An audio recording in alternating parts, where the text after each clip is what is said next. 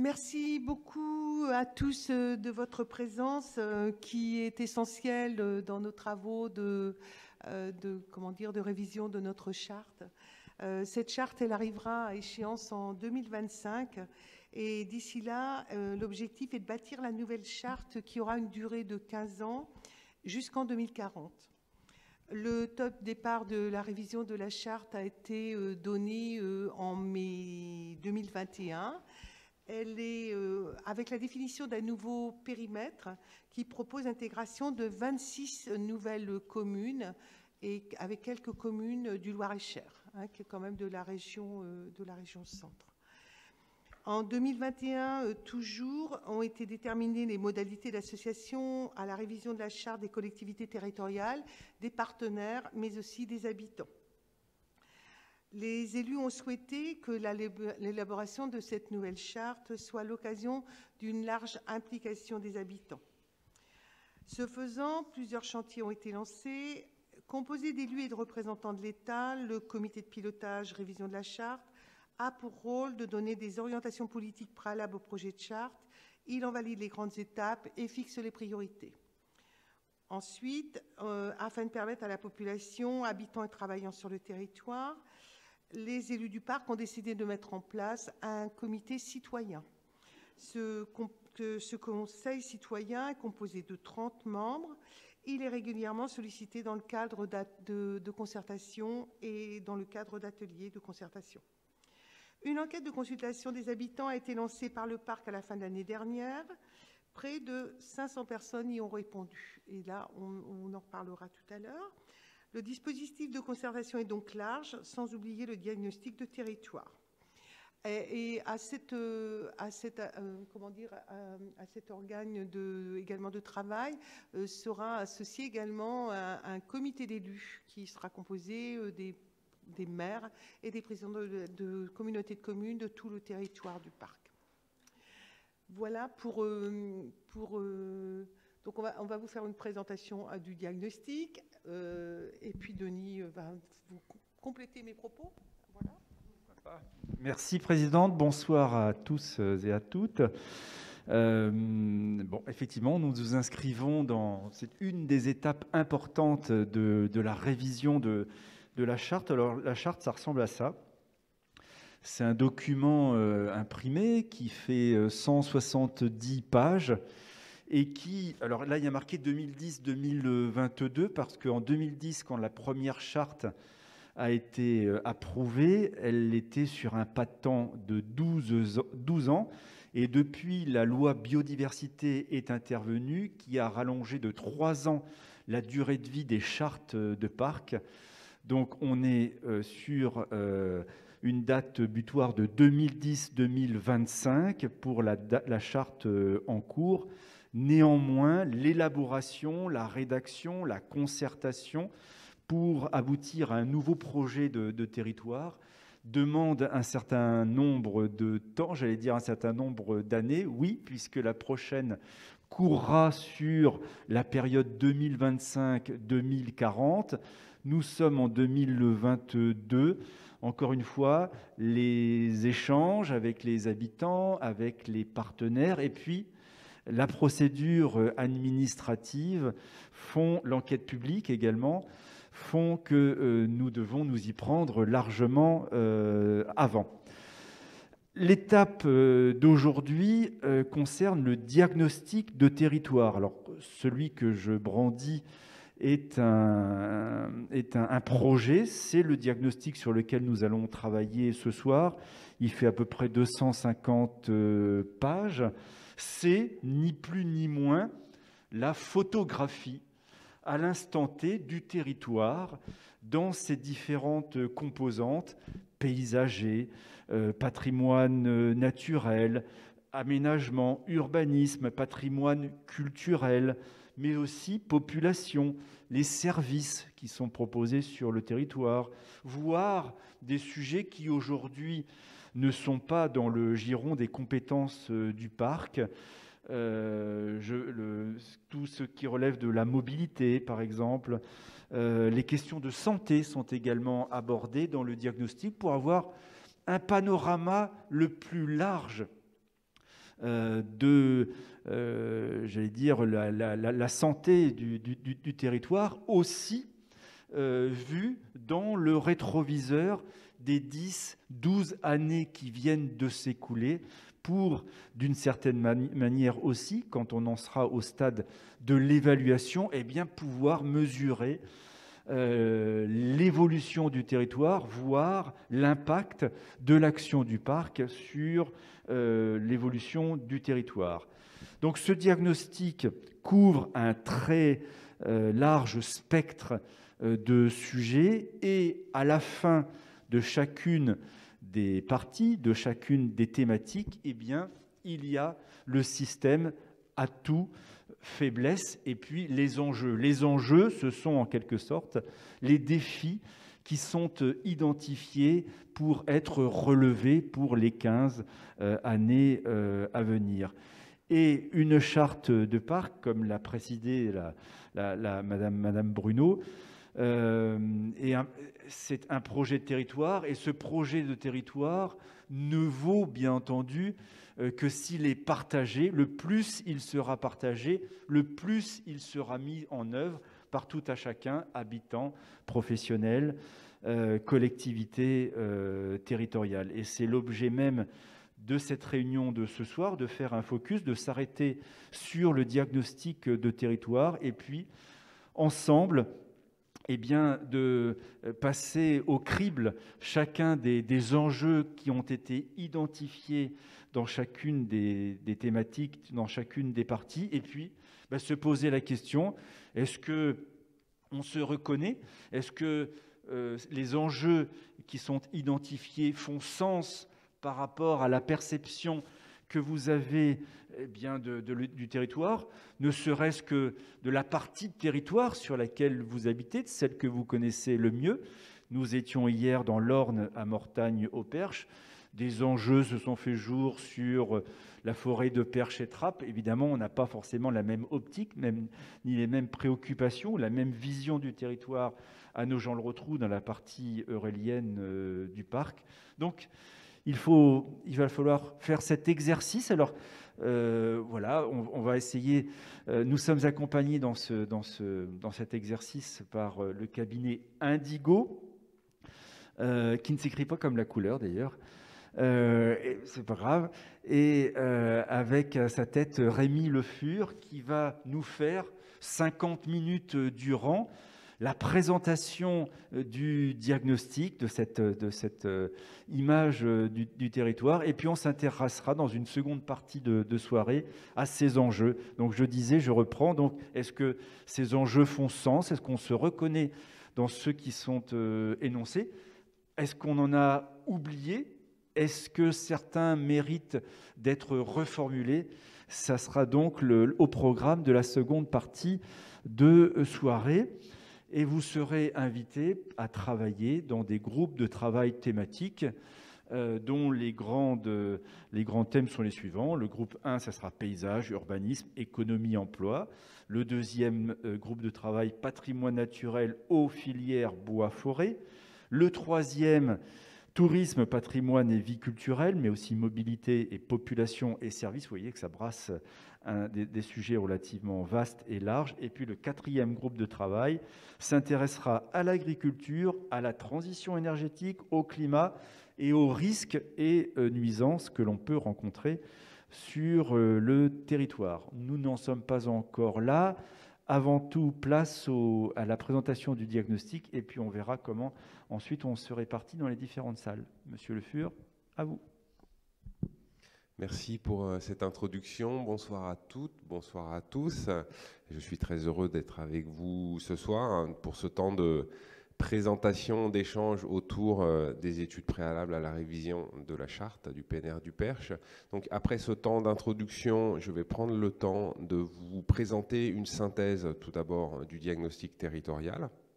Et puis, euh, donc on a évoqué aussi l'enquête de consultation qui a été réalisée. Euh, fin d'année 2021. Euh, et donc, on va aussi vous en présenter les principaux résultats avant de se mettre en configuration de travail. Vous avez compris, on vous fait une restitution, mais on est aussi là pour vous écouter et travailler avec vous pour compléter le diagnostic, le préciser, l'amender là où il y a besoin. Donc, le, je commence par le diagnostic territorial.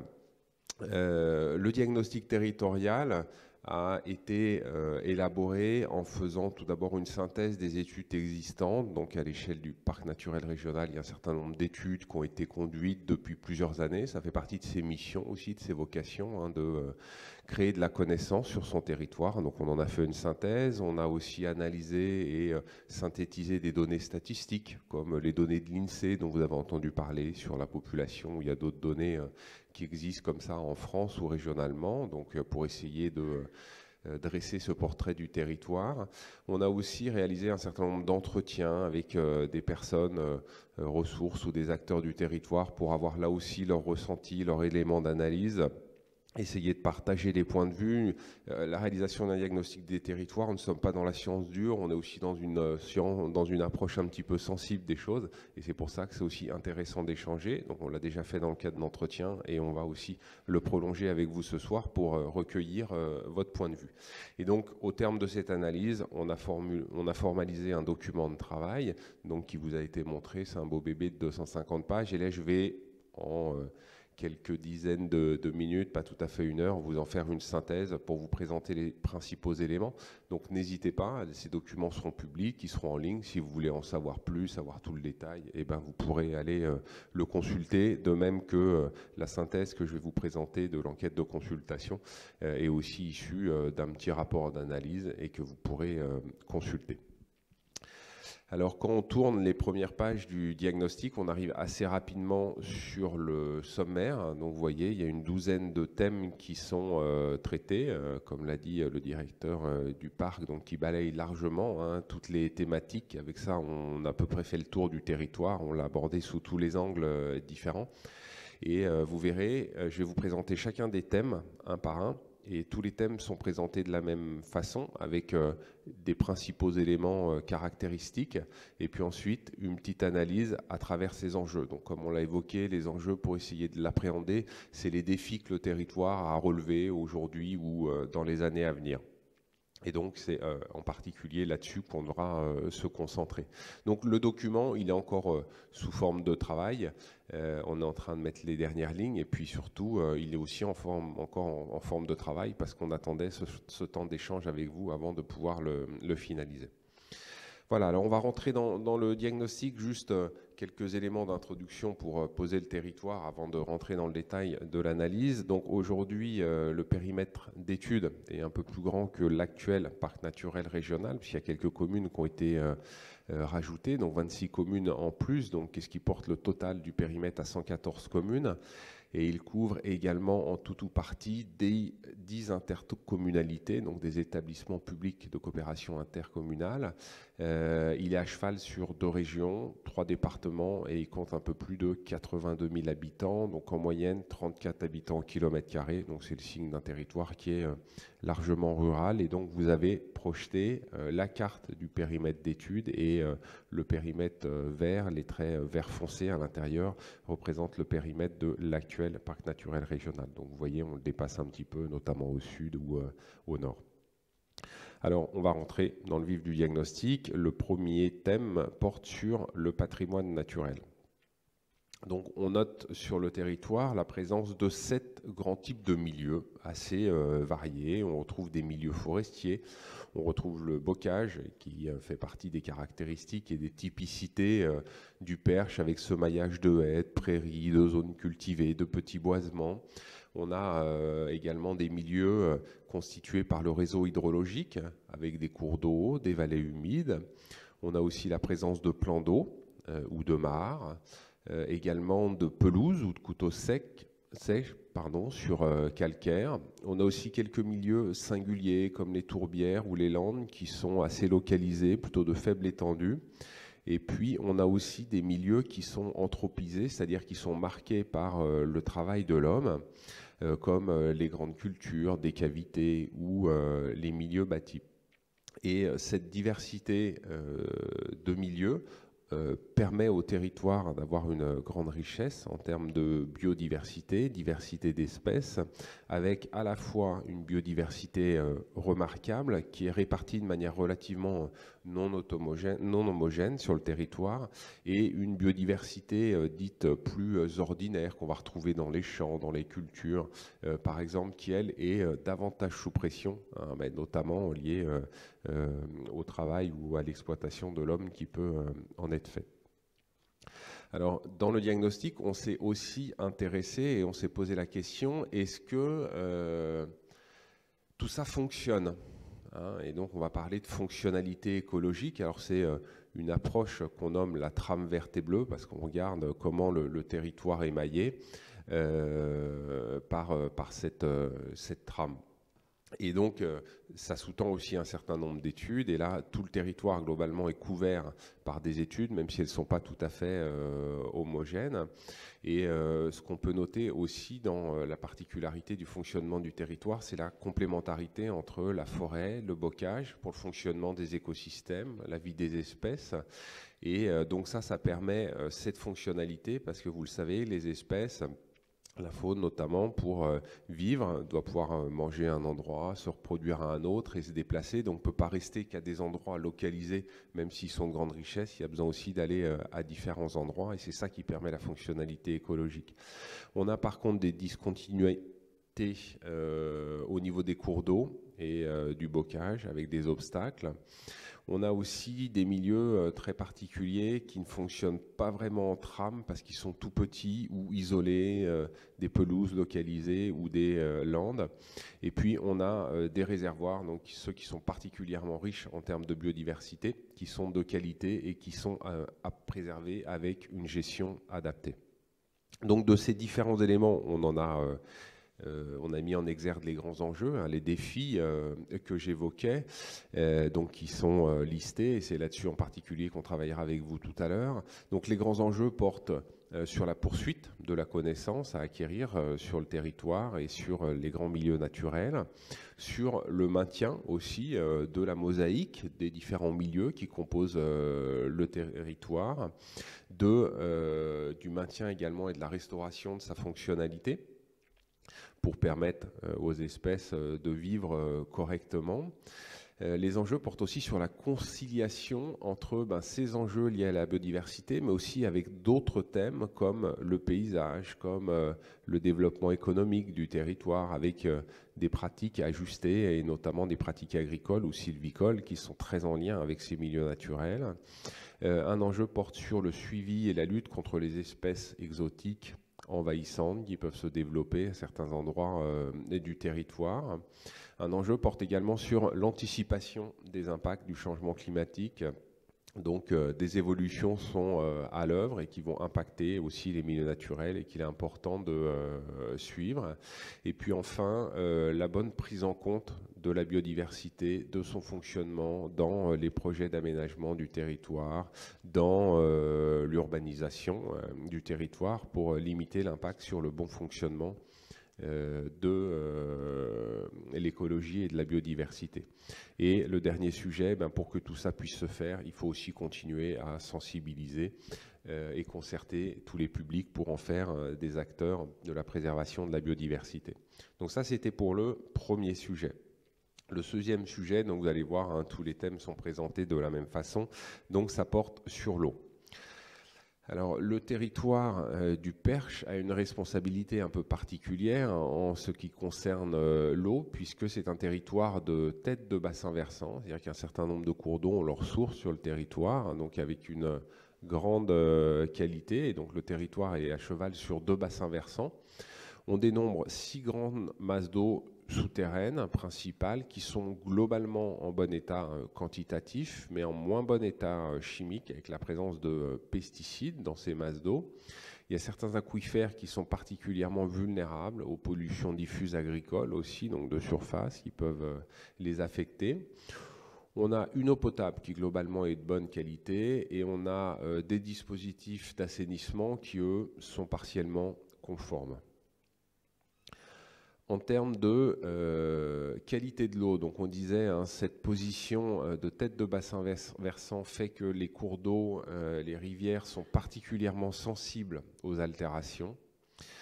Euh, si la majorité des cours d'eau est en bon état écologique ou en état écologique moyen, plusieurs d'entre eux sont en mauvais état écologique ou en état écologique médiocre. Donc c'est ce que traduit la carte, hein, la diversité de cette qualité. Donc globalement, les cours d'eau qui sont plutôt de couleur verte sont en bon état et ceux qui sont en couleur euh, tendant vers le rouge sont en moins bon état. Euh, plusieurs cours d'eau aussi n'ont pas un bon état chimique, donc c'est les deux facteurs qu'on va regarder, état écologique euh, et état chimique. On note aussi qu'un certain nombre d'entre eux sont asséchés en période estivale. Il n'y a plus d'eau, peut-être vous l'avez remarqué euh, aussi. Et à noter enfin que des actions sont en cours, c'est-à-dire que les enjeux, le constat qu'on partage, il est déjà connu, il est déjà partagé, et du coup il y a des actions qui sont conduites pour essayer de répondre à ces enjeux et à ces défis et d'améliorer la, la situation. Donc les différents enjeux, ils portent bien sûr sur le rétablissement du bon état écologique des différents cours d'eau, de la bonne qualité des eaux euh, dans leur diversité, haute surface, eau souterraine, etc. Le maintien du débit des cours d'eau également et de la quantité d'eau euh, en général sur le territoire, la poursuite des actions de protection de captage, d'alimentation en eau potable. Donc là aussi, euh, c'est engagé, mais il en reste encore quelques-uns à faire la mise aux normes des dispositifs d'assainissement qui ne sont pas conformes, la formation des habitants à la préservation de la ressource en eau, et puis, euh, comme euh, le thème précédent, l'anticipation des changements climatiques. Là aussi, hein, il y a des évolutions qui sont à l'œuvre et qui vont impacter la ressource en eau, donc on a intérêt à les, anticiper et euh, le territoire à s'adapter. Le thème suivant porte sur les risques et les nuisances. Alors, qu'est-ce qu'on peut dire sur euh, ce sujet-là? Donc, on a, euh, concernant les risques, deux grands types de risques. Les risques, on identifie les risques technologiques et les risques naturels. Donc, les risques technologiques sur le territoire sont relativement modérés et ils relèvent essentiellement euh, des entreprises qui sont installations classées pour la protection de l'environnement, donc qui sont classées du fait de leurs risques. Et les principales établissements qui sont classés sont des élevages, des industries agroalimentaires ou des entreprises qui ont une activité autour des déchets. On note la présence d'un seul, site Céveso. Donc les sites Céveso, c'est euh, euh, les établissements qui euh, présentent un risque un peu plus élevé, avec là aussi deux catégories, ceux qui sont seuil haut, les plus à risque, et seuil bas. Et donc celui qui est présent sur le territoire, c'est seuil bas, donc celui qui présente le niveau de risque le moins élevé des deux. On a aussi un risque qui est lié, euh, donc technologique toujours, qui est lié au transport des marchandises dangereuses et qui est concentré le long des grands axes, soit routiers, euh, soit ferrés, euh, à l'occasion de leur transport. On a un risque sismique aussi qui est présent, mais relativement faible. Donc là, on est passé sur les risques naturels. On a un risque d'inondation, essentiellement le long de l'Uine. Et puis, on a aussi un risque de mouvement de terrain, plutôt dans le nord euh, du territoire. Et on note aussi un risque qui est lié à euh, l'aléa de retrait et de gonflement des argiles, c'est-à-dire que le sol qui bouge et du coup qui peut fragiliser ou fissurer euh, certaines habitations. Donc là aussi, de temps en temps, on en parle dans l'actualité. Concernant les nuisances, il y en a plusieurs euh, catégories. Les nuisances sonores, le territoire est plutôt préservé des nuisances sonores qui sont liées essentiellement à, la circulation routière ou ferroviaire. On note six carrières en activité, une carrière qui est à l'arrêt, qui peuvent générer aussi des nuisances. Concernant les déchets, la gestion est bien structurée avec euh, des syndicats de ramassage et de traitement des déchets qui s'en occupent. Et on s'intéresse aussi de plus en plus à la pollution lumineuse. Euh, faites le test. Est-ce que euh, quand vous sortez de chez vous, vous voyez bien les étoiles le soir euh, ou pas, notamment? Et ce qu'on constate sur le territoire, c'est que cette pollution lumineuse, elle est plutôt limitée et elle est principalement concentrée autour des plus grandes communes, donc ici, Nogent, Mortagne ou Bélem, par exemple.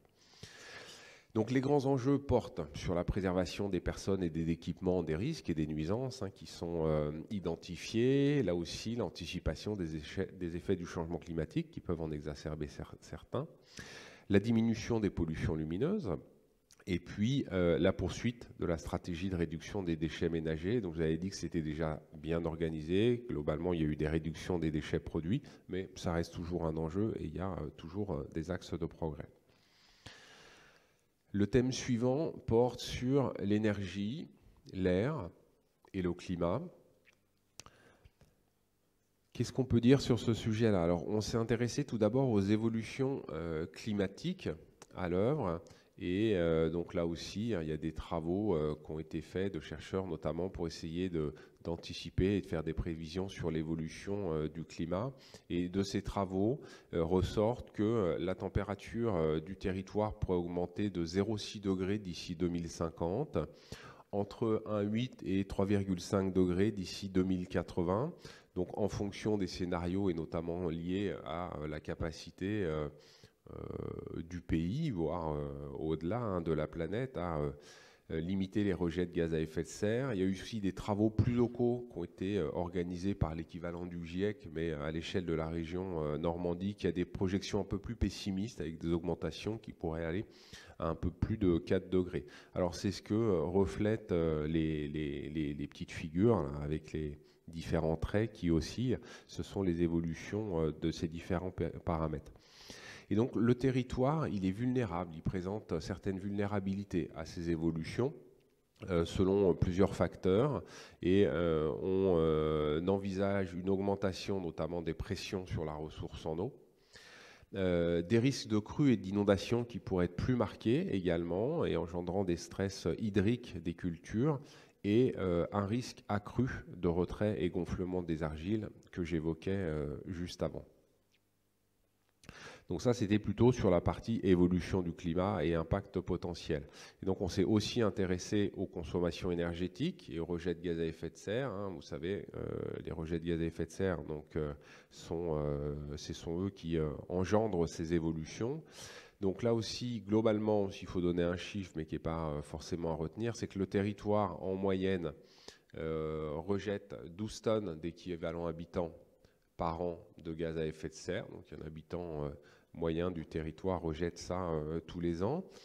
L'agriculture est le premier poste d'émission des gaz à effet de serre et ces émissions euh, donc sont principalement non énergétiques. C'est un peu la spécificité de l'agriculture, c'est qu'en plus des consommations énergétiques, euh, l'élevage ou euh, l'utilisation d'engrais hein, génère un certain nombre de, de, gaz à effet de serre et qui fait que c'est un secteur assez important d'émissions de gaz à effet de serre. Et donc il est classé devant les transports, devant le résidentiel, donc l'habitat pour se chauffer, et ensuite devant l'industrie qui est assez présente sur le territoire. Donc ça, c'est euh, les émissions de gaz à effet de serre. Et si on regarde juste les consommations énergétiques, le premier poste de consommation énergétique, cette fois lié au transport, ben, pour se déplacer, euh, devant le résidentiel pour se chauffer ou euh, l'industrie. Et ce qui explique ce classement et ces consommations, tout d'abord, euh, c'est le fait que euh, pour les déplacements, euh, nous sommes sur un territoire largement dépendant de, la voiture. On n'a pas tellement de possibilités alternatives et donc les voitures consomment encore, enfin fonctionnent encore largement avec les énergies fossiles. Le parc de logement consomme aussi de l'énergie et ce parc de logement est majoritairement individuel et ancien.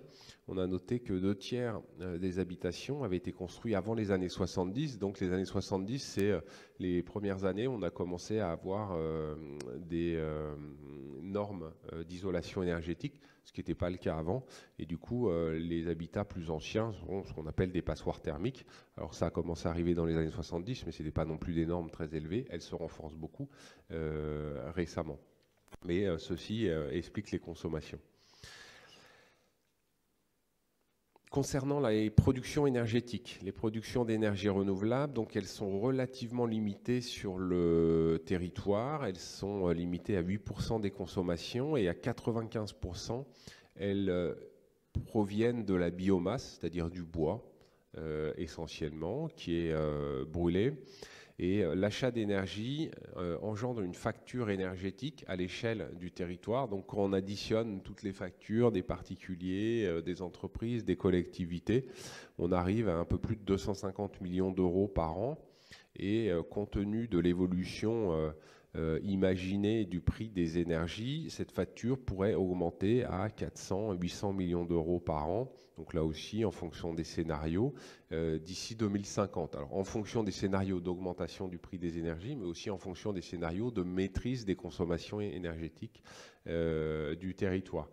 Donc on est sur un chiffre qui va dépasser le demi-milliard d'euros et donc de l'argent qui est mis comme ça tous les ans euh, qui sort du territoire. Donc là aussi, on voit les enjeux euh, et l'intérêt à essayer de développer les énergies renouvelables locales pour que cet argent puisse rester euh, dans le territoire.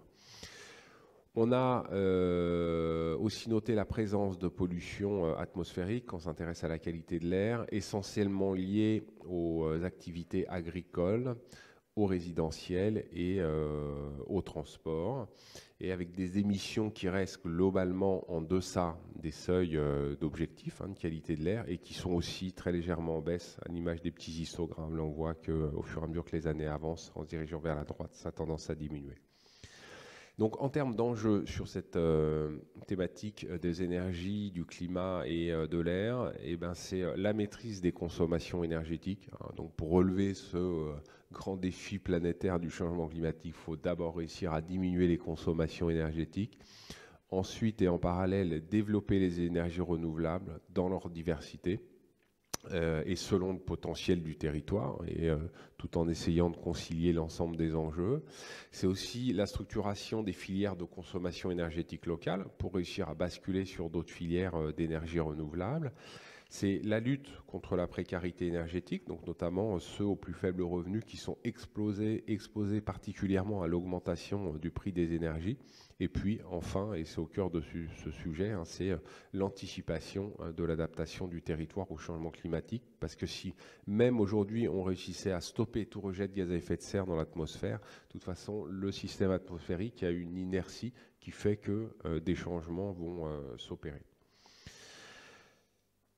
Le euh, thème suivant donc, porte sur les paysages. Alors, il y a une grande diversité de paysages euh, au sein du Perche. Alors, quand on pense au Perche, souvent on a un peu en tête un paysage de référence qui pourrait être caractérisé par le relief ondulé, doucettement ondulé, euh, des lignes de crête avec les forêts, bien souvent sur ce haut de ces crêtes, le patrimoine bâti, qui fait des touches dans le territoire, ou les villages, le bocage, bien sûr, les rivières qui maillent aussi ce, territoire.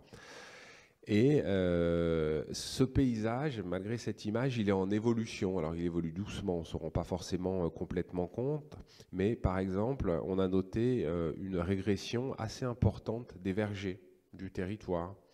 On a noté aussi un léger accroissement des surfaces forestières on a noté un recul un peu plus significatif euh, du bocage. Et tout ça fait que euh, est obligé d'appréhender de manière un petit peu dynamique le territoire, le, paysage. Ce n'est pas euh, quelque chose qui est complètement figé. Et donc j'évoquais, hein, le territoire, il est assez varié en fait quand on circule sur le territoire, et on a noté la présence de 7 16 grandes unités paysagères, donc grands ensembles qui se retrouvent avec des caractéristiques euh, similaires. Et quand on bascule à une autre unité paysagère, on a des caractéristiques un petit peu différentes. Et donc c'est représenté sur la carte. à chaque fois qu'il y a un numéro différent, bah, on est sur une unité paysagère euh, différente. Alors chaque unité paysagère a ses spécificités et des enjeux qui peuvent être propres au regard des évolutions, des dynamiques à l'œuvre. Alors je ne vais pas vous présenter les 16, on n'aurait pas le temps. Pour ceux qui veulent regarder plus dans le détail celles euh, où il habite ou avoir une approche un peu plus euh, euh, détaillée, je vous invite à lire le diagnostic. Je vais juste vous montrer un exemple à travers une unité paysagère donc, qui s'appelle les marges boisées et les versants bocagés de l'Uine Amont. Donc, je vous la présente pas complètement par hasard. Hein. C'est une des pièces maîtresses des paysages euh, du Perche, avec cette alternance de vallées encaissées, de bocage, de euh, horizons forestiers, les crêtes boisées que euh, j'évoquais. Donc pour chacune des unités, on a fait une petite figure comme ça, ce qu'on appelle un, bloc diagramme, pour essayer de les représenter, de montrer les dynamiques et, les enjeux. Et pour chacune d'entre elles, on a aussi identifié euh, une liste d'enjeux. Donc là, on va en, parcourir quelques-uns, mais là aussi sans rentrer dans le détail. Donc par exemple, sur cette unité paysagère, on a identifié un enjeu sur la diversité, la complexité euh, des paysages de lisière et le maintien des vues sur les crêtes forestières le maintien du bocage sur les plateaux et le maillage déstructuré euh, et sur les versants. Voilà, je ne vais pas lire tous les enjeux, mais sachez hein, que pour chacun, on a fait ce euh, travail de détail. Donc sur cette grande thématique du paysage, on a euh, identifié un des enjeux qui sont un peu transversaux aux différentes unités paysagères. Et le premier enjeu, c'est de réussir à maintenir les lisières forestières complexes, diversifiées, qui marquent un petit peu les, les limites, les séparations du territoire qui le structure. C'est aussi l'équilibre dans le développement des surfaces boisées, tant sur le plan quantitatif que sur l'aspect qualitatif avec euh, des essences qui sont euh, choisies. C'est aussi l'équilibre dans le paysage à arborer avec un juste niveau de transparence qui fait que les paysages ne se ferment pas. Hein. quand on se promène, quand on est sur une crête, sur un versant, on puisse toujours avoir des vues qui sont dégagées et embrasser euh, le grand paysage. Euh, il y a un enjeu qui porte sur l'avenir des plateaux agricoles, entre intensification des pratiques agricoles et retour de l'arbre, par exemple, pour structurer ou réinventer des paysages agricoles euh, qui sont en, évolution et qui sont plus ouverts. C'est la pérennité et la lisibilité des rivières aussi, puisqu'ils les accompagnent. Donc, ce qu'on appelle la ripisylve, ce sont les boisements de rives, les prairies, les fonds de vallée la maîtrise des extensions urbaines aussi qui peuvent euh, contribuer à une forme de banalisation des, paysages avec euh, des lotissements par exemple qu'on va retrouver un peu de manière identique d'un village à un autre ou euh, d'ici en France à d'autres endroits de, France. et puis enfin c'est la pérennité et la restauration de l'habitat traditionnel qui est diffus et qui présente une grande qualité hein, sur le territoire. Le thème suivant porte sur l'aménagement euh, l'urbanisme. Alors, le territoire, on l'a évoqué, hein, il est à dominante largement euh, naturelle et euh, agricole, donc qui représente l'essentiel des surfaces. Les surfaces agricoles, c'est plus de 60% du, du, territoire. Les surfaces naturelles, une douzaine de pourcents. On a une faible évolution de ces surfaces dans leur répartition. On note une légère augmentation des surfaces boisées, une légère augmentation des surfaces urbanisées. Euh, ce qu'on note aussi, c'est qu'on a une part significative, une douzaine de pourcents du territoire, qui est constituée de surfaces naturelles, non boisées et sans vocation agricole. Un peu un statut euh, d'entre-deux. On a euh, aussi euh, au niveau de la surface agricole, donc si euh, globalement la surface agricole reste stable, elle évolue dans la répartition, notamment avec une diminution des surfaces en prairie. Et il y a eu une diminution assez significative entre 2012 et 2019, hein, où on a eu un recul en gros de 10 000 hectares de, de prairies, 17% à peu près de ces surfaces-là. Euh, donc là aussi, ça contribue à, l'évolution du territoire et de ses paysages. On a une artificialisation donc, qui est liée aux constructions, à l'urbanisation ou à la création d'infrastructures comme euh, les routes qui restent euh, relativement limitées sur le, le, territoire. Donc il y a un peu plus de 450 hectares qui ont été consommés par l'urbanisation. Alors je dis c'est limité, mais malgré tout, ça fait l'équivalent de quelques exploitations agricoles qui ont euh, disparu. Euh, donc la carte représente hein, euh, là où le, niveau d'artificialisation est le plus important. Et ce qu'il faut noter, c'est qu'il y a plus de, enfin, près de 90 communes sur l'ensemble du périmètre d'études qui ont perdu des habitants et qui, malgré tout, ont urbanisé du territoire. Donc, il y en a qui ont gagné des habitants et qui, ont euh, urbanisé aussi leur territoire. Ça, c'est relativement normal. Mais là où c'est un peu plus étonnant, c'est que certaines communes voient leur nombre d'habitants euh, diminuer et malgré tout, il y a une urbanisation. L'essentiel de l'urbanisation est lié à la construction des habitats. C'est ce qui consomme le plus de foncier sur, euh, votre territoire. Donc sur ce sujet de l'aménagement et de l'urbanisme, les grands enjeux portent sur la prise en compte des dynamiques démographiques et euh, économiques dans euh, les constructions, hein, pour continuer à être vigilant sur l'artificialisation du territoire, sur le maintien de l'attractivité des centres-bourgs et la maîtrise du parc de logement pour faire que euh, le cœur des villages, le cœur des villes reste toujours attractif et pour euh, éviter aussi d'aller construire trop en périphérie d'une part et puis éviter aussi un phénomène de volet clos qui est jamais très agréable, même si on il semble qu'il y ait une évolution assez récente liée au contexte sanitaire qui fait que euh, de l'habitat qui pouvait avoir été ne plus être utilisé depuis quelques années semble réinvesti. Euh, donc toujours cette vigilance sur les consommations foncières, la sensibilisation hein, de l'ensemble des acteurs euh, sur euh, cette bonne prise en compte des enjeux liés à l'aménagement et l'urbanisme, et puis la réflexion aussi sur la qualité architecturale dans les constructions neuves pour essayer de maintenir la qualité du territoire et la qualité des constructions. Le thème suivant porte sur le patrimoine et la vie culturelle. Alors on l'a divisé en deux, hein, le patrimoine bâti d'abord et puis ensuite euh, la vie culturelle. Euh, ce qu'on a noté tout d'abord dans le cadre du diagnostic, c'est que le patrimoine archéologique du territoire reste encore largement connu. Donc on a évoqué le fait qu'un euh, des rôles d'un parc, c'est de créer de la connaissance. Donc là, on identifie un axe de progrès. On a des matériaux euh, traditionnels qui sont utilisés dans les constructions calcaires, sable du Perche, qui a une qualité euh, largement reconnue, et puis aussi des éco-matériaux qui se sont développés, comme le chanvre ou euh, la terre crue, par exemple. Le bâti hein, dispersé du territoire globalement et de grande qualité. Hein. C'est une des caractéristiques du, territoire, et diversifié avec des fermes, des manoirs, euh, du patrimoine religieux, du patrimoine industriel, du petit patrimoine vernaculaire, des lavoirs euh, ou autres. Donc le parc conduit une mission d'inventaire hein, qui alimente la connaissance et ce patrimoine est globalement de mieux en mieux connu. Il y a aussi des savoir-faire artisanaux eh qui permettent d'entretenir euh, ce patrimoine et qui est aussi euh, valorisé à travers la marque Valeur Parc, donc qui euh, marque des maçons, des couvreurs, etc.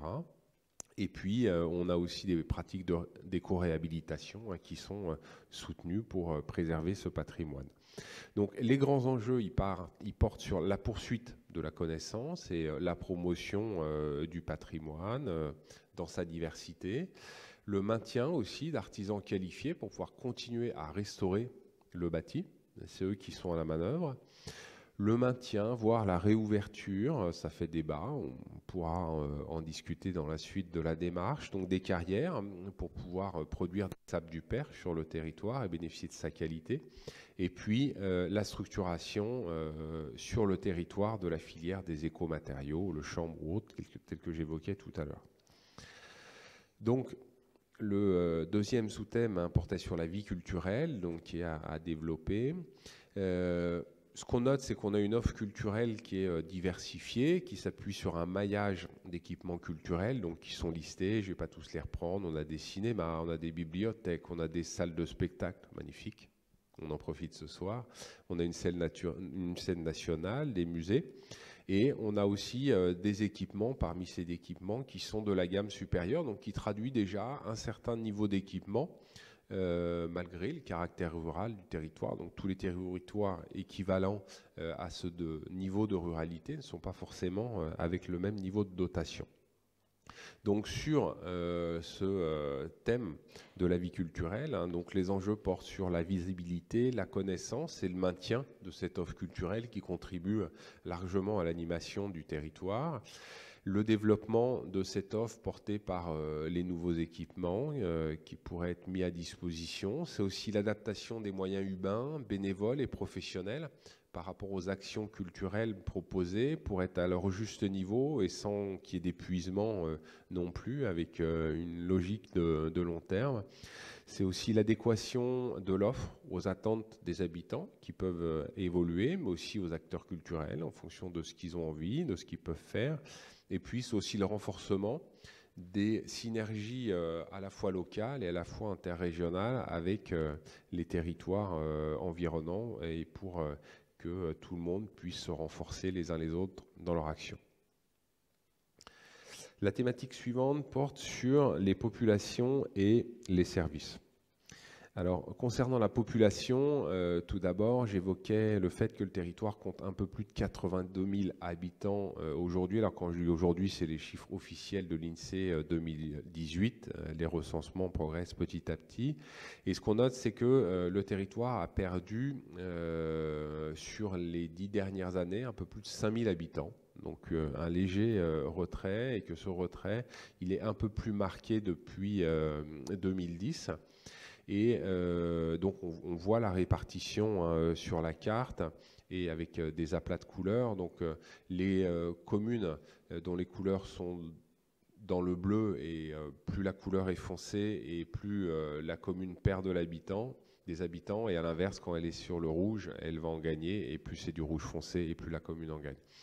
Et donc, ce qu'on peut noter aussi sur le territoire, c'est que les communes les plus, importantes, donc il y a sept communes qui comptent plus de 3000 logements, perdent toutes des habitants, hein, et notamment euh, au profit de euh, plus petites communes. Et euh, certaines petites communes gagnent en proportion un nombre d'habitants assez significatif.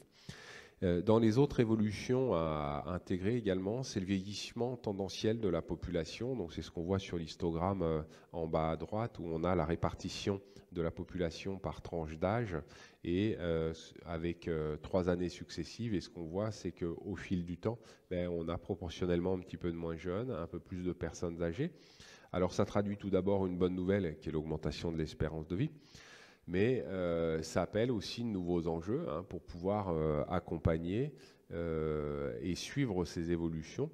Et puis, ça appelle aussi une certaine vigilance, puisque certaines communes se retrouvent avec une part de personnes âgées qui peut être particulièrement significative.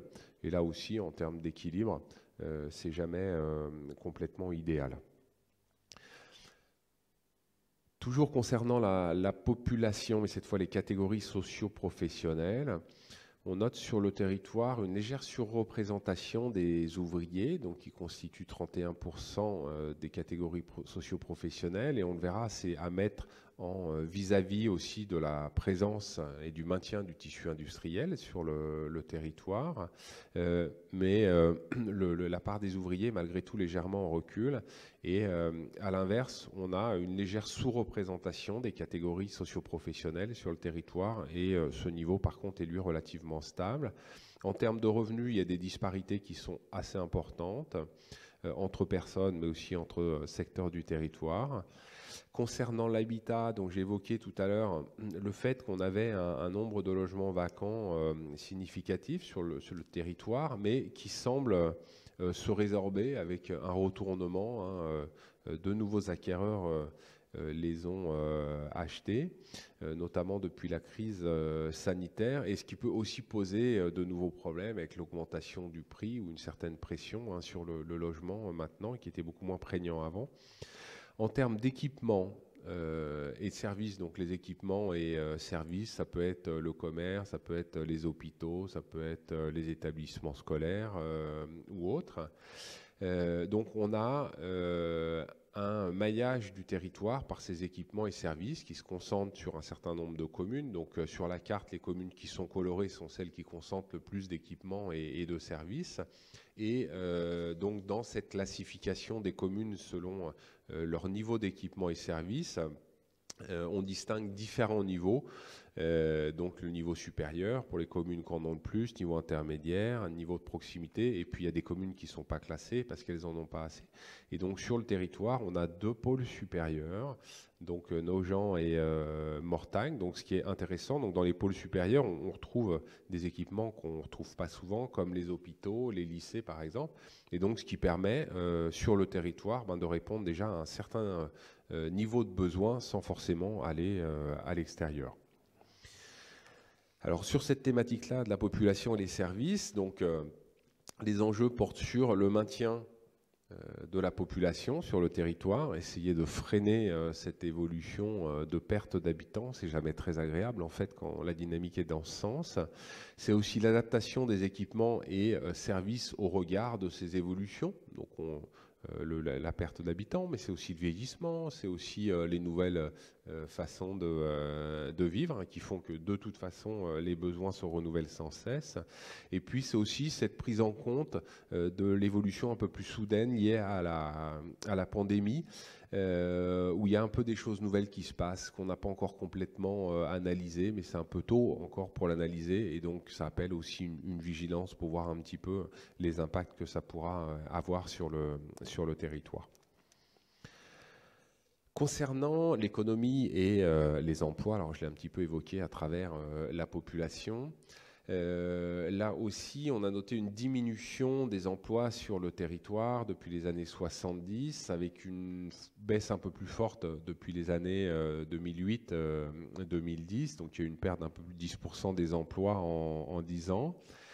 Euh, je l'ai évoqué juste avant, hein, malgré son profil rural, le territoire est caractérisé par l'importance de l'emploi industriel dans différentes filières, la métallurgie, l'automobile, la construction mais qui est euh, en difficulté depuis une quinzaine d'années. Donc ces difficultés ne sont pas propres au territoire, mais elles se traduisent aussi sur le territoire. Hein. et globalement, quand on a des périodes un petit peu tendues en France, c'est plutôt les secteurs industriels qui sont en, souffrance.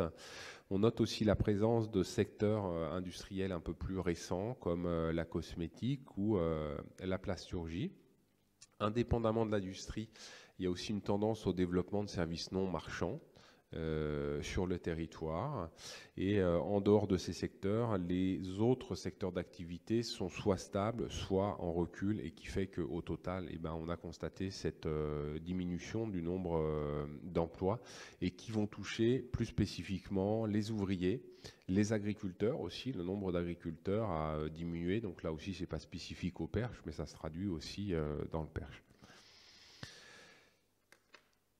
Le nombre d'emplois globalement offerts sur le territoire est inférieur au nombre d'actifs euh, qui résident sur le territoire. Et donc, euh, ça, ça se traduit par euh, un certain nombre d'actifs qui, tous les matins, quittent le territoire pour aller travailler en dehors, dans d'autres, dans d'autres pôles. Alors, à l'inverse, le territoire est aussi attractif pour des gens qui habitent à l'extérieur et qui viennent tous les jours travailler à l'intérieur du territoire. Mais le bilan Hein, au final, fait que davantage de personnes euh, sortent du territoire pour pouvoir aller euh, travailler euh, ailleurs. Sur le territoire, les principaux pôles d'emploi bah, sont un peu comme les équipements, concentrés ici, concentrés à Mortagne, au Teil ou à BLM, par exemple. La taille des entreprises est plutôt de petite taille, donc là aussi c'est pas spécifique. Hein. on a une grande majorité d'entreprises de moins de 10 salariés. Et on note par contre une augmentation euh, globale du nombre d'entreprises, mais du coup plutôt des entreprises de, petite taille. Alors les grands enjeux sur cette thématique euh, de l'emploi et euh, des activités économiques abordés globalement à ce stade, c'est effectivement le maintien des emplois, voire le retour des emplois sur le, territoire, dans les différents secteurs, et notamment aussi euh, dans l'agriculture. C'est la poursuite de la dynamique de création d'entreprises que j'évoquais euh, juste à la fin, ou euh, le développement de nouveaux secteurs d'activité. C'est également l'accompagnement d'une transition économique et sociale des activités euh, économiques présentes sur le territoire pour pouvoir répondre à la fois euh, aux besoins euh, des habitants, des populations, mais pour aussi minimiser l'impact qu'elles peuvent avoir sur le territoire. C'est aussi se saisir des nouvelles opportunités liées à la diversification des formes de travail. Pense au télétravail, les gens qui peuvent travailler chez eux, au coworking, c'est les espaces qui se développent où plusieurs actifs peuvent travailler ensemble. Euh, qui sont permis notamment, mais pas que, par le développement du numérique et qui offrent de nouvelles opportunités euh, pour le territoire. Et puis c'est aussi le maintien euh, dans la mixité des activités économiques et sociales du territoire pour répondre aux, besoins de tous les habitants. Alors on a fait un zoom sur quelques filières qui sont particulièrement présentes sur le territoire. Je vais commencer par la filière bois-forêt, j'évoquerai l'agriculture et puis enfin le tourisme. Donc euh, la forêt a une présence importante du territoire. Globalement, c'est 23% des, surfaces du territoire. Cette forêt est majoritairement euh, privée, à près de 80%, et publique par ailleurs, avec des peuplements qui sont euh, largement constitués de, chênes et de feuillus. Euh, le bois est aussi euh, permis par la présence des haies bocagères de manière importante, plus de 11 000 km sur le territoire d'études. Et ces haies sont également principalement privées euh, et agricoles. Alors, cette forêt qui maille le territoire, elle a plusieurs fonctions. Elle a une fonction écologique, puisque les forêts accueillent une biodiversité qui est riche et qui est reconnue euh, au niveau euh, européen par des zones d'identification ou des zones de protection. La forêt joue également un rôle de protection vis-à-vis de la ressource en eau, vis-à-vis des sols, vis-à-vis du changement climatique aussi, où il peut offrir des microclimats, de la fraîcheur, contribuer à stocker du carbone. Donc un rôle écologique tout d'abord. La forêt, le bocage contribuent largement euh, au paysage et à l'identité euh, du perche, avec une photo voilà, qui est assez caractéristique de ce qu'on peut euh, observer et ce qui va être le support à des activités de plein air particulièrement agréables. Et puis, la forêt a bien sûr aussi une fonction économique qui est à soutenir, à soutenir, oui, avec une ressource qui est particulièrement exploitée, Hein, et on estime qu'à peine plus de la moitié de l'accroissement annuel du bois est récolté, donc sans même toucher au capital, hein, jusqu'à euh, si ça croît chaque année, à peu près que la moitié seulement est, récoltée, donc il y a des marges de main-d'œuvre, et euh, une économie qui est très tournée vers euh, le chêne, donc c'est une économie qui est forte, mais aussi fragile. Et il y a des maillons de la filière qui sont à conforter avec une euh, vigilance à avoir notamment sur les scieries ou euh, les entreprises de transformation forestière. Donc sur la forêt, euh, les grands enjeux portent là aussi sur la connaissance un peu plus fine et précise de la filière, l'adaptation de la ressource boisée au changement climatique. Il y a certaines forêts hein, en France qui commencent à souffrir du changement climatique. Le développement également de la gestion durable des ressources boisées, pour euh, augmenter sa résilience et pour euh, minimiser euh, ses impacts sur l'environnement, sur la qualité des paysages, la sensibilisation de tous les publics afin d'éviter les conflits d'usage entre les différentes fonctions dans la forêt et donc des adéquations qui sont à trouver. Donc là, c'était le premier zoom sur la forêt, le deuxième zoom sur l'agriculture. Et euh, en additionnant l'agriculture et la forêt, on est quasiment à 100% du territoire. Les espaces urbanisés euh, représentent qu'une infime euh, partie. Donc l'agriculture est davantage présente que la forêt. Hein. c'est un peu plus de 60% du territoire, en très léger recul. On a un peu plus de 1500 euh, exploitations sur le territoire d'une taille moyenne de près de 100 hectares, donc nombre d'exploitations hein, qui est en régression, je évoqué tout à l'heure. La surface agricole moyenne se maintient, ce qui veut dire que les exploitations ont tendance à s'agrandir. Euh, on note une régression de l'élevage, et des prairies, donc je l'avais évoqué euh, tout à l'heure. Et on a aussi une évolution euh, dans les pratiques agricoles avec le développement des surfaces en agriculture biologique, même si elles restent encore relativement limitées euh, sur le territoire. Il y a aussi des surfaces qui sont engagées dans les mesures agro-environnementales et climatiques pour essayer d'améliorer les impacts sur l'environnement. Mais l'agriculture reste encore largement conventionnelle sur le, sur le territoire. Euh, il y a euh, euh, un développement progressif des circuits courts et de vente locale où la production locale est commercialisée localement, mais elle reste minoritaire puisque entre 90 et 95% de la production est encore valorisée en dehors du perche. Donc le perche exporte largement sa matière première qui est valorisée ailleurs. On note plusieurs signes de qualité aussi sur le territoire qui permet de valoriser les productions, donc des AOC ou des AOP, des appellations d'origine protégées, contrôlées, des labels rouges. Le parc aussi, à travers la marque qu'il apporte, y contribue. il y a différentes initiatives avec les différentes images aussi qui, cherchent à euh, développer euh, des productions alternatives ou résilientes sur le, territoire. Et il y a un contexte qui est euh, plutôt favorable au développement des produits locaux, à la fois contexte réglementaire, mais aussi attente des habitants par rapport à, à ces productions-là. voilà. Donc les grands enjeux portent sur le renforcement et le lien euh, entre la cohérence entre l'agriculture et euh, l'alimentation, le cadre de vie, la résilience de l'agriculture au changement climatique, euh, la création aussi de la valeur ajoutée économique, environnementale et sociale de l'agriculture du territoire, la transition agricole et alimentaire avec des besoins qui évoluent et du coup la relocalisation des systèmes alimentaires à l'intérieur du, territoire, le renouvellement des actifs agricoles et la transmission des fermes pour essayer de lutter contre l'érosion euh, du nombre d'agriculteurs, et puis du coup la capacité aussi du territoire à redégager des marges de manœuvre et notamment euh, économiques euh, pour les exploitations agricoles.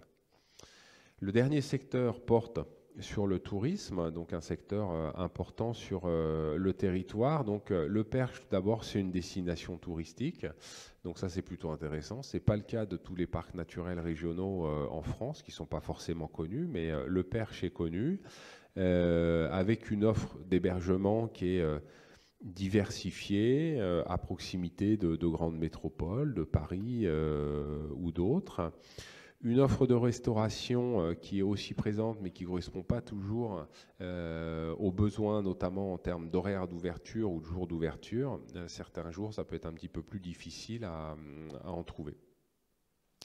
les activités touristiques sont liées pour une bonne partie aux loisirs et notamment aux activités de plein air qu'on va pouvoir avoir sur le territoire, à la découverte du patrimoine. Et donc on a des activités de plein air qui sont assez variées, avec des centres équestres, du golf, autre, une activité de rando aussi qui se développe et qui se structure. la maison du parc contribue aussi à l'offre touristique. C'est le deuxième site touristique marchand de, de, l'Orne. Et on a de nombreux acteurs qui sont mobilisés euh, sur cette question touristique. Donc les euh, grands enjeux portent sur euh, le positionnement stratégique du tourisme, donc sur le fait d'avoir un positionnement qui soit bien raccord par rapport au fait que ce soit un tourisme au sein d'un parc naturel régional et que tous les acteurs euh, œuvre euh, à ce positionnement, euh, la poursuite de la structuration de la randonnée aussi, activité qui se développe, l'amélioration de la visibilité pour que l'offre touristique soit perçue ici et ailleurs, que les différents acteurs puissent renforcer euh, leur contribution. C'est l'adaptation aussi de l'offre à la demande, euh, là toujours, avec un niveau de qualité qui soit conforme euh, aux attentes. Et là aussi, une vigilance sur les conflits d'usage que j'évoquais tout à l'heure. En termes de mobilité, autre sujet auquel on s'est intéressé, euh, tout d'abord, euh, concernant les euh, déplacements domicile-travail, trois quarts des habitants se déplacent à l'intérieur du, territoire pour travailler, donc c'est plutôt une bonne chose, avec un certain nombre de déplacements qui sont des déplacements de proximité et qui offrent, donc un potentiel de report vers des modes doux comme la marche à pied ou le vélo. Les infrastructures pour se déplacer sont essentiellement des infrastructures routières, autoroutes nationales, plusieurs départementales. On voit sur la carte les principaux flux de déplacement domicile-travail interne au territoire. Par contre, l'offre euh, de transport alternatif est relativement limitée sur le territoire, mais ce n'est pas non plus une surprise, c'est assez euh, conforme euh, là aussi à son statut de territoire rural, peu dense. Donc on a un réseau de transport collectif, on a quand même une voie ferrée donc là, une infrastructure lourde avec cinq gares sur le, territoire. Mais malgré ça, hein, les déplacements restent largement faits en voiture, à plus de 80%. Il y a un potentiel pour les modes doux, le vélo, je l'évoquais, mais à ce jour, l'usage du vélo semble essentiellement réservé au tourisme plus que pour aller travailler. On s'est aussi intéressé au numérique et à la téléphonie mobile. Et là, ben, vous avez tous fait le constat que, euh, suivant les endroits du territoire, on va capter plus ou moins bien les réseaux où le débit va être plus ou moins important. Donc les grands enjeux euh, en termes de mobilité portent sur le développement euh, de modes de déplacement alternatifs à la voiture individuelle hein, pour essayer notamment de contribuer à la lutte contre le changement climatique, pour économiser aussi les dépenses dans les mobilités. Euh, euh, le, les opportunités liées au report vers les modes actifs, où le potentiel existe sur le territoire, et les opportunités liées aussi au développement du numérique ou de la téléphonie, notamment pour des nouvelles formes de télétravail qui peuvent contribuer à limiter aussi les déplacements sur le territoire. Dernier thème pour finir concernant euh, l'organisation euh, territoriale et l'organisation euh, des institutions sur le, territoire. Donc le parc est un de ces acteurs, mais il n'est pas seul. Hein. On note également, j'évoquais tout à l'heure, une dizaine d'intercommunalités, donc des établissements publics de coopération intercommunale. Certaines sont intégralement comprises dans le périmètre euh, du euh, parc naturel régional, d'autres pas, sont en périphérie. Donc euh, vous avez là sur la carte, chaque couleur correspond à une intercommunalité. Intercommunalité qui gagne aussi en puissance et en compétence avec la loi qui a renforcé sa présence. On s'est aussi intéressé dans cette euh, thématique sur toutes les actions qui ont été conduites, notamment par le parc d'éducation au territoire, d'éducation à l'environnement, qui fait partie de ces missions euh, importantes réalisées euh, en propre ou via des associations et des partenaires. Donc, les grands enjeux portent sur ben, le développement d'un réseau un peu plus large de partenaires d'éducation à l'environnement et au développement durable, au renforcement des synergies institutionnelles et de l'action publique. Hein. J'ai évoqué euh, la diversification, euh, la diversité pardon, des institutions, et euh, donc il faut réussir à faire en sorte que toutes œuvrent dans le même sens, et notamment contribuent à la mise en œuvre de ce projet de territoire que constitue la charte du parc, et donc qui est en cours de révision, et c'est pour ça qu'on est là, et donc la mobilisation de l'ensemble des acteurs dans cette mise en œuvre. Donc voilà sur le, diagnostic. Euh, l'autre étude euh, sur laquelle je vais être un peu plus rapide euh, et que je vais vous restituer là aussi partiellement, c'est l'enquête de consultation des, habitants hein, dont vous avez tout été destinataire et auquel vous pouviez tous répondre. Donc ça n'a pas été le cas. La présidente disait on a un peu, un peu moins de 500 répondants au total, mais ça constitue déjà un premier échantillon sur lequel on a pu conduire euh, une première analyse. Alors dans les premières questions qu'on euh, posait aux euh, habitants, c'était il y avait trois questions. Est-ce que vous connaissez les objectifs d'un PNR Est-ce que vous connaissez les actions mises en œuvre par le PNR du Perche? Et puis, est-ce que vous connaissez les limites géographiques du PNR du Perche? Et globalement, les personnes qui ont répondu connaissent plutôt bien les limites géographiques du PNR du Perche, mais par contre connaissent de manière beaucoup moins claire euh, quels sont les objectifs d'un PNR et pareil, de manière beaucoup moins nette, quelles sont euh, les actions mises en œuvre par euh, le parc du Perche. On leur proposait ensuite un certain nombre d'infirmations et on leur demandait là aussi de nous dire s'ils étaient d'accord ou pas d'accord. On leur disait par exemple, est-ce que vous êtes d'accord pour dire que euh, le Perche est une réserve naturelle ou que c'est euh, une structure publique qui mène des actions sur le territoire, un territoire riche de son patrimoine bâti, etc. Et donc les affirmations euh, qui ont été le plus partagées, ben, elles portent effectivement sur la richesse du patrimoine bâti, sur le fait que le Perche est un environnement naturel préservé, un petit peu moins que c'est une destination touristique ou que c'est une structure publique qui mène des actions du territoire et encore moins une réserve naturelle hein, qui était euh, euh, la proposition qui a été la moins bien classée. Ensuite, il y avait une série de questions. Euh, on avait plusieurs fois la même question et à, chaque fois on interrogeait pour recueillir le niveau de satisfaction par rapport au sujet et pour recueillir également le degré de priorité vis-à-vis de l'avenir. Est-ce que pour l'avenir, le sujet semblait relativement important? Donc, euh, une première question portait sur l'offre en produits locaux. Donc, globalement, les réponses sont plutôt euh, favorables et euh, aussi favorables à ce que ça reste une priorité sur l'avenir, pour l'avenir. Et l'autre question, donc celle du bas, portait sur l'offre d'emploi sur le territoire. On voit la partie en, en, orange ou en rouge qui est plus importante. Ça veut dire que là, le niveau de satisfaction était beaucoup plus faible. Par contre, ça reste une priorité pour l'avenir. Donc ça, c'était une première série de questions sur l'économie et l'emploi. La deuxième série de questions portait sur l'environnement, euh, les ressources et euh, les paysages. Et donc, euh, le niveau de satisfaction le plus important porte sur la qualité des paysages, sur la valorisation, la protection des patrimoines locaux. Et à l'inverse, les les habitants sont moins satisfaits de l'éducation et la sensibilisation à l'environnement ou de la maîtrise des nuisances. Donc, ce qui est lié notamment à des actions euh, sont là où on a le niveau de satisfaction euh, le moins bon. Concernant euh, l'urbanisme et de l'habitat, là aussi les réponses sont mitigées, hein, puisque euh, on a euh, quasiment la moitié de la population qui n'est pas tout à fait satisfaite de l'évolution de l'urbanisation du territoire. Et là, bien que dans une part un petit peu moindre, l'offre de logement aussi ne semble pas complètement répondre aux attentes des habitants. Euh, concernant la vie associative, la culture et euh, les loisirs, là, les niveaux de satisfaction est globalement euh, positive. la question qui était la plus plébiscitée, c'était la, dynamique de la vie associative qui apporte le plus de satisfaction devant la richesse de la vie culturelle. Et puis, celle qui est un petit peu moins bien classée porte sur l'offre de loisirs.